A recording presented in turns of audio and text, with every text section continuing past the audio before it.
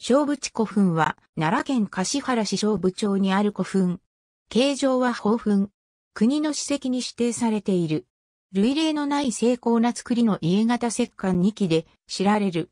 奈良盆地南園、丸山古墳と飛鳥村、大技岡を結ぶ道路北側の低級量南面に築造された古墳である。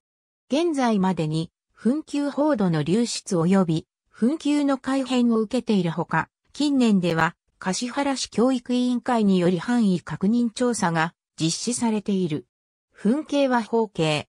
墳丘は二段築成で、下段は一辺約30メートル、上段は一辺約18メートルを測る。墳丘北側、東側、西側には、掘割が巡らされるほか、墳丘表面では、赤灰色粘湿度による化粧が、古墳前提、掘割底面、上段墳をかす素平坦面では、つぶて式が認められており、墳頂部では線の使用可能性がある。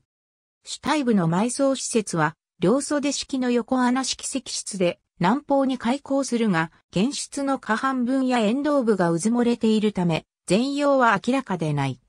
原室内部にはくり抜き式毛型石棺2基が据えられるが、これら2基は非常に精巧な作りで、全国的にも得意な石棺になる。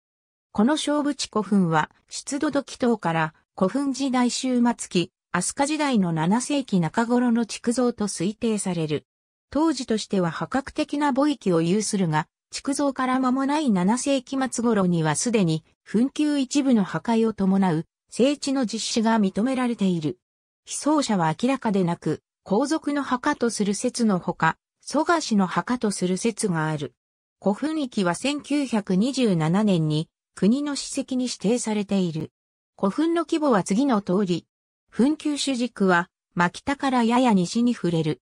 築造当時としては、墳丘の点では一般的な規模であるが、墓域の点では破格的な規模になる。石室内部の家型石棺に行き埋葬施設には、両袖式の横穴式石室が使用されている。石室の規模は次の通り。原室は、半接石式で、花崗岩の巨石を2段に積み上げた上に、天井石3枚をかけることで構成されるが、現在では大部分が埋没するほか、紛糾報土の流出により、天井石2枚を露出する。また石の隙間には、漆喰が詰められている。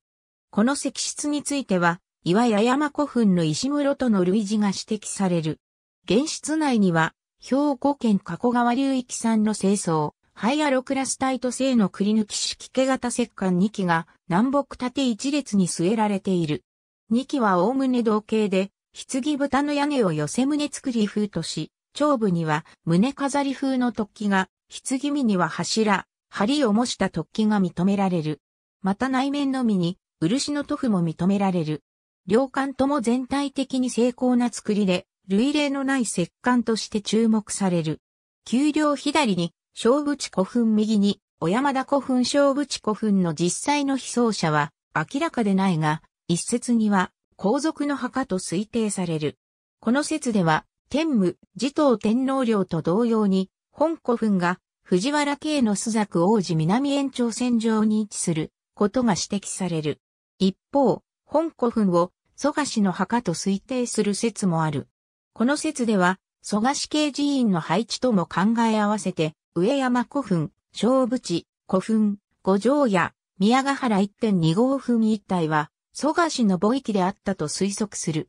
特に、天武、持統天皇陵などの天皇陵が築造された地域からは、離れて、飛鳥への入り口を抑える道沿いに築造された点が、造母氏族の性格として指摘される。また近年には、付近で巨大宝墳の小山田古墳が発見されたことから、同古墳と小淵古墳を特に備えぞ、イルカの墓に否定する説も挙げられている。所在地交通アクセス周辺。ありがとうございます。